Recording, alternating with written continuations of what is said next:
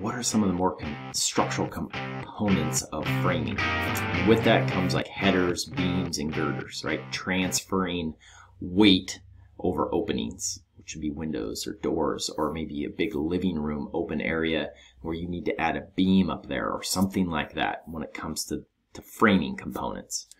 And so, first of all, right out the gate, keeping it simple. If you've got a beam that you need to put in, if you've got a girder of some sort, if you got a big bay window that maybe standard framing can't handle, go to wherever you got your materials and ask them if they can run beam specs for you, beam specifications. If they can, if you can tell them like, look, I'm holding up a roof, they're going to know, well, what's your snow load for your area? They're probably already going to know that. And you could say, well, I've got rafters at 24 inches on center, 16 on center, and they know like, oh, the dead load is 10 pounds, 20 pounds. And they're also going to know, well, you know, where I'm at, 30 pound snow load versus down south might be 15 or something, right? So they can run and punch all those numbers in and uh, they can spit out your beam size and you can purchase that size or maybe you already have it. They can even do that for dimensional lumber. Say you want to run two 2 by 10s 10 feet, but the charts say you can only run it 8. As an inspector, I've approved beam specs that have been run from, um, you know, from an approved um, uh, software to show that it would meet that requirement, right? That the deflection and um, uh, the weight that it's holding, it can support it and, and that it would pass those requirements. And so if you have those sheets on site when your inspector shows up, or maybe you don't even need a permit, but you're just like, I want to make sure this thing's structurally sound, print those things out. Just say, hey, can I get a copy of those beam specs? Um, I want to have them on site, file them away in case anybody ever asks anything they might tell you like, look, dimensional lumber will not do that.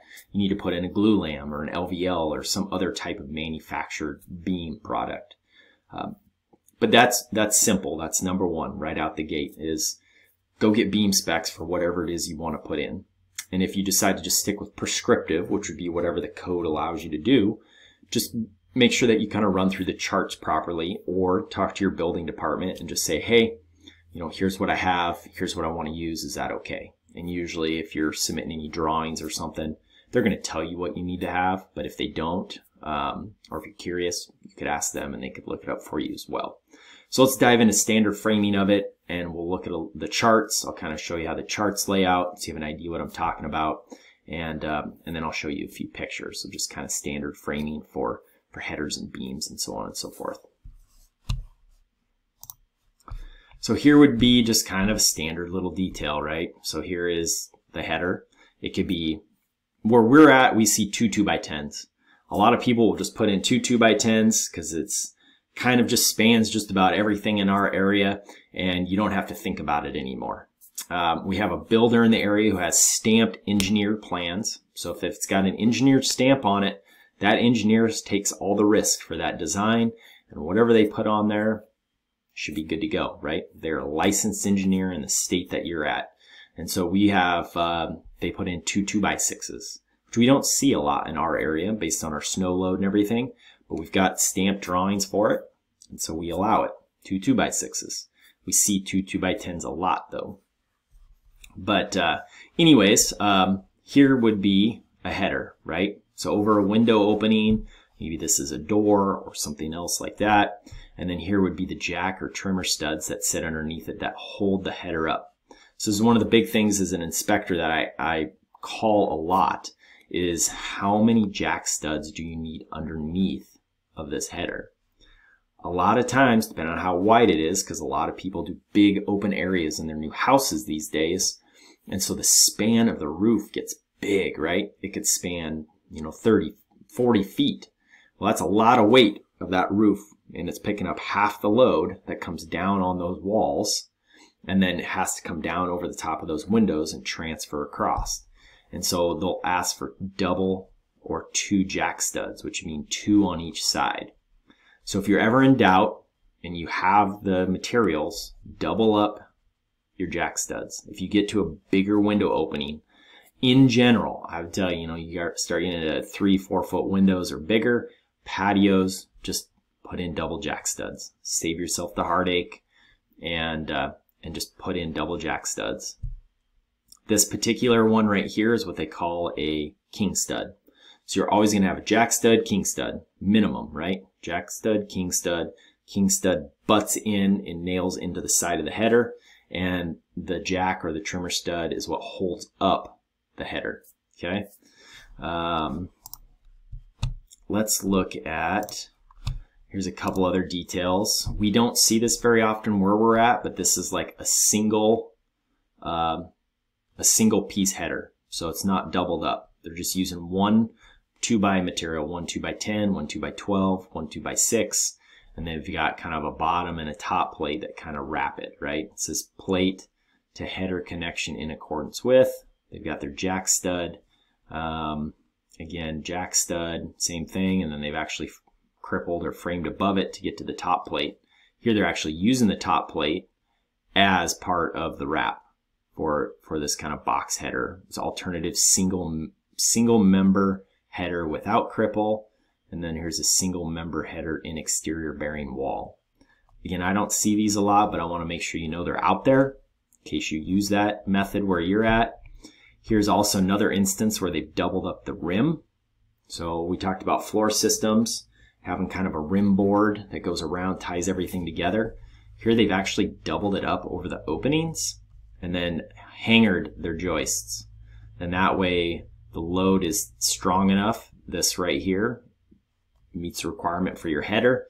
They're transferring that load over the top of that opening. So rim board header construction. It's another option that's out there. So let's look at the charts. Okay, so girder spans and header spans for exterior bearing walls. So this is if you if you're going off a prescriptive method and um, and you don't and you don't have any beam specs. It's not designed. It's not engineered. And you're like, what do I need? Well, first you got to know is well, what are you holding up? So are you holding up a roof and a ceiling only? Are you holding up a floor that has a center bearing wall in it? Are you holding up a floor that has no bearing in it? Okay, and this is continued. So there's another page that I'll show you where maybe it's two stories or three stories high, right? Center bearing or no center bearing wall. So you got to figure out what it is that you're doing. And then you would hop into here and you'd say, okay, well, what's my snow load, right? My ground snow load. So where we're at, I believe that we're 39, I believe, is the actual number. And so we hop up here to 50. And then we talk about building width. Okay. If you're down south and you only have a 15 pound snow load, well, you're going to be in this column right here okay? And then you're going to talk about building width. Well, like I said, some houses get really wide and they span really far. The roofs do, okay? And so, well, if we're spanning right here, depending on what you're doing, building width. So it's not even really necessarily talking about just the roof. It's just saying building width, okay? And so if you get into 36, maybe you're 25, 26, well, you should be hopping to the next column, okay? So if we're holding up, say, just a roof, and we've got, you know, like I said, we use two 2 by 10s all the time. So two 2 by 10s and I span all the way over here, and I get into 24. My building width is 24, between 12 and 24. I'm going to be able to span 5 foot 11, but I need two jack studs. So again, it's back to that jack stud thing. Um, NJ would be just the jack stud component of it. Here's a situation, two 2 by 6s can span 3 foot 11 with a single jack stud. So you could go through this chart and say, well, what works for what I'm doing? Um, you know, if I if I get up to 36, if I get over 36, well, then technically you should probably have some type of design professional involved in it, right? Um, but you could probably just over design it and your building department would, might be able to look at it and be like, yep, yep, that's going to work. You know, we've seen that work and we're going to allow it. Um, but they might also tell you like, look, you're going to need an architect or an engineer to sign off on something that you're doing, which again is why I would take you back to go down to the building, uh, uh, the lumber yard where you got your materials and say, hey, I need you to design me a beam that will fit right here. That way you have documentation of it. You tell them to print it out. You submit that with your drawings. They look at it. Hopefully they'll just stamp it, say it's good, and you don't have to get any of those engineers and those designers involved for your home project, right? You can just kind of keep plowing through it. Um, what's another one? So here they actually have singles, okay?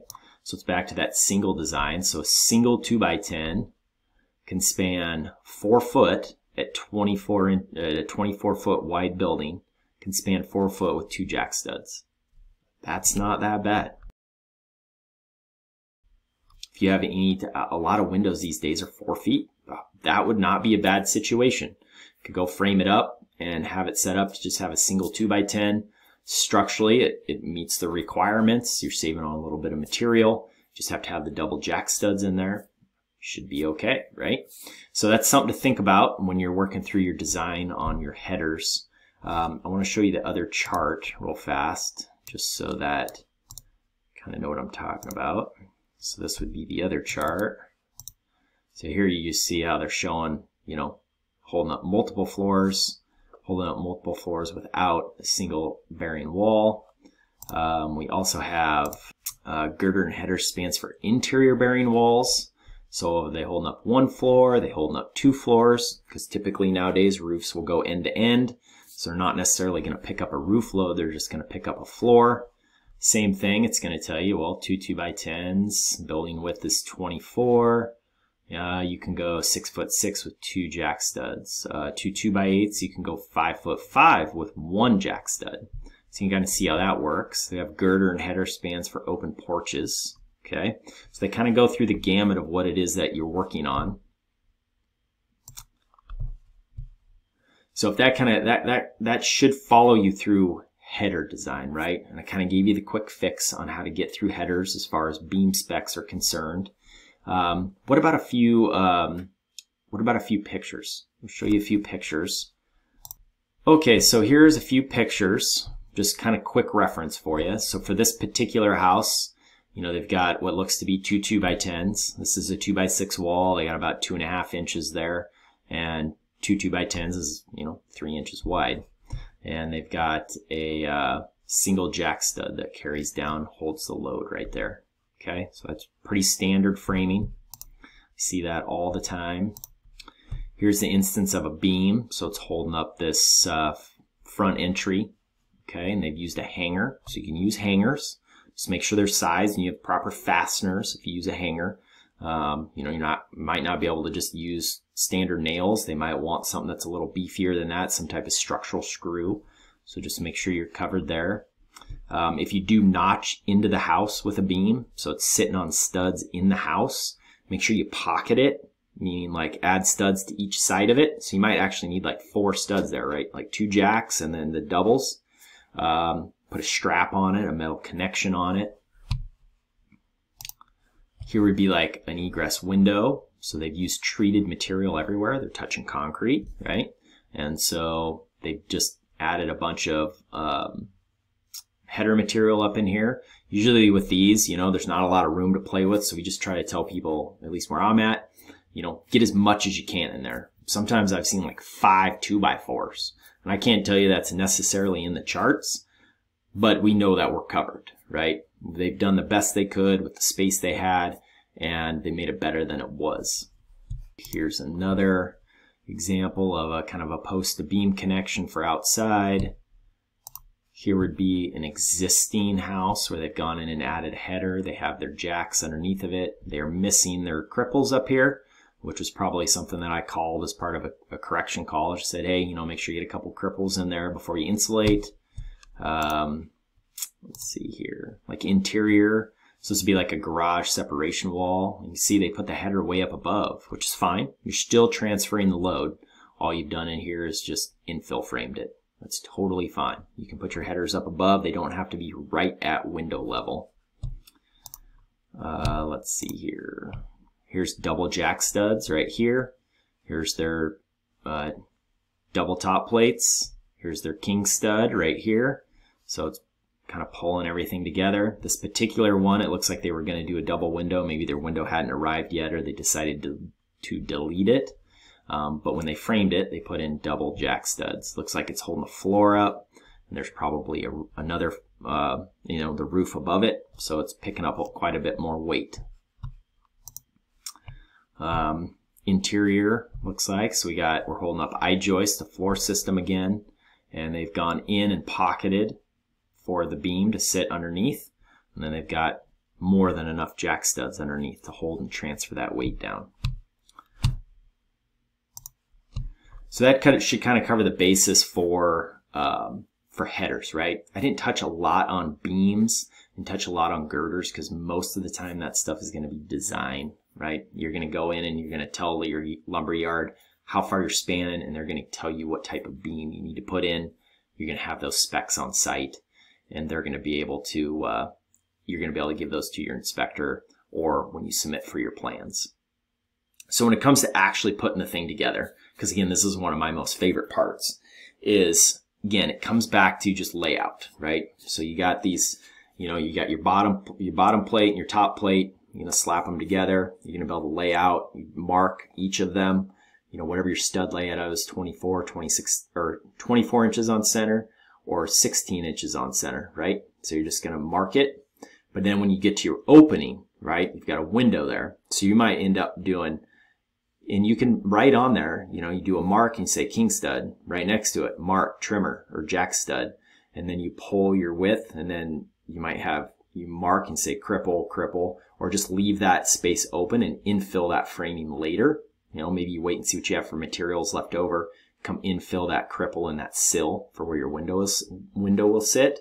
Um, and then you run your header and then you have another jack and then you have your king stud and then you back into your layout again. So you can do it all off of these top and bottom plates, separate them, start, and you just crown your studs and start laying them out and just know, hey, well, if I got a jack stud here, I'm going to have to cut out nine and a half inches for two by tens and it'll sit right in there. You nail it all in, lift it into place, and hopefully you should be good to go. Okay.